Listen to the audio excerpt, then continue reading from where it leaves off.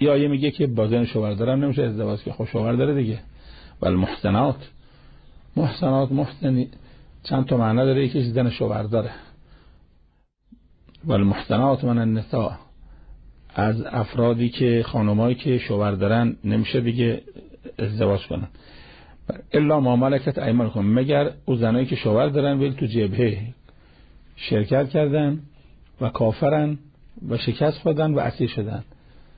اگر شما در جبهه یه زن دیدی که این زن شوهر داره ولی تو جبهه آمده شما رو بکشه.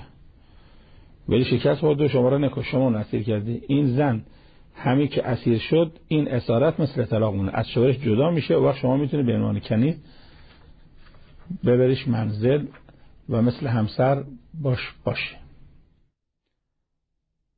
چون اسارت به منزله طلاقه.